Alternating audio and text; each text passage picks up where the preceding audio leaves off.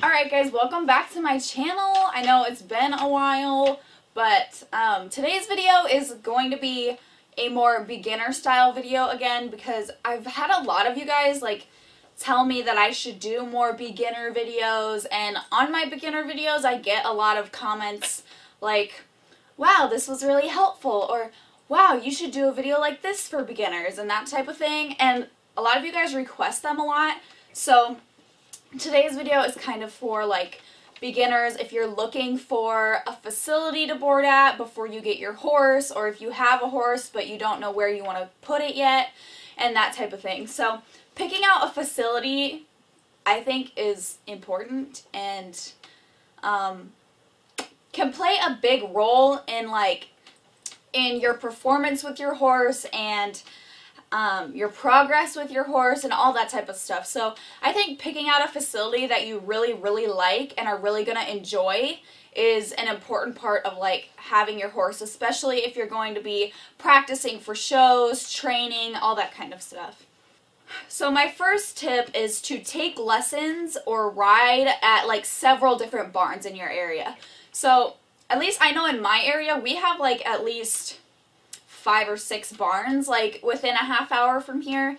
So if you're looking for a facility facility that you're really going to like, try and go to all those different barns and see which one is the best layout, see which one you really like, um, what they provide, all that other type of stuff, and, and just get a feel for what um, what is good and what isn't very good. So just try and like get a good idea of all the different types of barns because there are definitely different types of barns. Second is to know your atmosphere. So when I say go to different barns, when you go to different barns, there's different types of atmospheres at each barn. So you really want to find what atmosphere you like best because if you if you go to like a barn that's big into showing and big into jumping, say, we go to a big hunter jumper barn, the atmosphere there is going to be a lot different than a barn that is also a rescue facility or a barn that is also a retirement ranch. Barn that focuses big on Western, um, showing a big Western pleasure is going to be a lot different than like a family owned farm. See what types of barns you like better um, size wise. Do you like small barns that are like maybe 10 horses there, very like family owned? Um, personal barns or do you prefer a big barn that has like a hundred horses there and tons of boarders and a huge arena and that type of thing a very public style barn? So you just want to go out and see what you like best because at a barn that that would be big into showing and be a big show barn is going to act and um, care for their horses differently than a barn that is also a retirement ranch barns that are big show barns are probably going to treat their horses differently in ways like stalling them, graining them. You know, they're going to provide different things and they're probably going to be a lot more expensive. So you need to find your price range.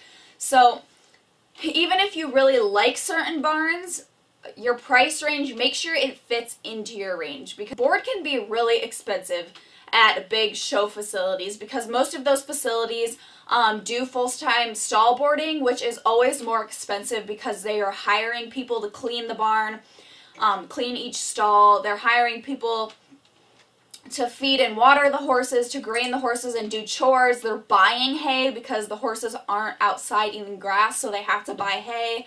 Um, they're probably paying for more water. So that's probably going to be more expensive. And some barns, big show barns, really only have stall board. Especially if you live in like a more city type of area, they're only going to have stall board, which isn't as good for the horse. I think we all know that. Um, but if you're going to a barn that is um, a really relaxed, very personally owned, um, not a lot of big show people there, they're probably going to have more um, pasture and herd type environments. They're probably going to be really more laid back, take it easy. So they might be a little less expensive. And those places are oftentimes more flexible with your horse. Big show barns usually have a clear-cut schedule. They have um, a checklist of what they do every day. Usually, if you go to a, a big show barn, they have Um, stall board with provided hay and provided grain, so your horse is getting grained. And sometimes people don't want their horse to get grain or they want to provide the certain grain that their horse needs. So it might be a little less flexible than a smaller family owned type of facility. You want to really look at the additional add-ons of the facility because usually that's all included in the board. You really want to look at the pasture quality. If you're going to be pasturing your horse, look at the quality of the pasture because that's really important. I, there's a there's a really popular barn um, about a half hour from here that a lot of people board at. I have several friends that board there. I know a lot of people really like that barn. Um, there's a lot of really friendly people at that barn. It's kind of a mix of showing people and non-showing people. So um, a lot of people really like that barn. But what I don't like about the barn is that they have a pasture that's probably five or six acres. But there's so many horses in that pasture that the pasture is really kind of crappy. I mean, it's really short, stubby grass, a lot of dirt. I mean, the grass doesn't grow that well. It's really just pounded down and not very efficient. I mean, it's just not, it's not a good quality of pasture. It's very run down and stomped over. Um, but I know some other facilities that do have nice lush pasture. They don't overrun the pasture with horses. Um, and that's what I would look for. Look at the quality. See if, you know, what's in the pasture. If it's just like a whole bunch of weeds and timber, um, there's not really a lot of like prairie or meadow where your horse is actually going to graze, that type of thing. Definitely consider if the owner is on site or not because if, if especially if you have an expensive like show horse or whatever or if just in general if you have a horse um, on-site owners are always better than um, people who live off the off of the property. So if the owner doesn't live on the farm, that definitely opens up risks to people stealing horses, people workers doing things that they might not be supposed to be doing, um, other people bothering your horse, that type of thing. So I always prefer on-site owners just, just because they're safer that barn that I was talking about with the, the really rundown pasture, she actually, the owner there doesn't live on site. She actually lives pretty far away from her barn that she owns. And um, I actually know people who took their horse there for training for 30 days. And because she doesn't live on site and they don't lock the gates at night, um, they, instead of paying at the end of the month, they came and got their horse in the middle of the night and left so they never had to pay. And it was her mistake for not making them sign a contract, obviously, but that can happen, and especially if, you know, if you have a horse that you want to lease out to somebody, you know, that can be scary too because you're giving somebody full access to your horse all the time when you're not around. So, um, I prefer an owner on site, but it doesn't make it a bad barn if the owner's not on site, you know, if they have safety regulations and stuff. But um, just like find what you want and what you're comfortable and safe with. Um, another good one is how many workers is there? I prefer somewhere that has minimal workers, but look at how the workers work together and how they communicate with the owner and the boss because I know from working at barns where there's other workers, you know, sometimes it's hard to communicate through all of you and all the workers kind of do things their own way and kind of have their own system of doing things, which in turn can be inconsistent for the horse. It can be hard to manage all these people doing things their own way.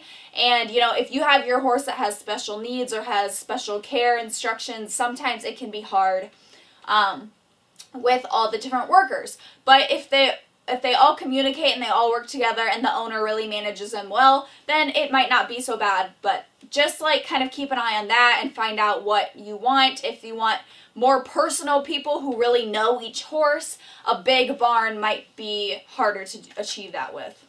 How crowded is it? You know, like I was talking about earlier, sometimes pastures can get crowded, sometimes the arena can be crowded. If there's only one arena, and there's a hundred boarders, you know, a Saturday might be like the worst time to go to the barn because the arena might be so crowded. So find what you like best. Find a barn that has a good amount of space, um, might have one or two arenas, and um, what's going to be most effective for you and your horse. And lastly, find somewhere that you want to be long term because I don't like seeing horses that get sold around a lot, that get sold from one person to the next, to the next, to the next. But the same goes for how many homes your horse has been in with you as well. So find somewhere that you want to be and you can see yourself being for a long period of time because even though your horse has the same owner, moving them from this barn to this barn to this barn to this barn gets tiring on your horse and that can be hard on your horse. Your horse has to figure out um, their surroundings, get comfortable in their surroundings, meet this herd, get pulled out of this herd, and get worked into the pecking order and everything over and over and over. That's going to be really tiring and hard on your horse. So it's best to find somewhere that you can see yourself being comfortable for long term. So you need to look at your goals. What are you going to be doing with your horse? Is this place really going to give great care for your horse?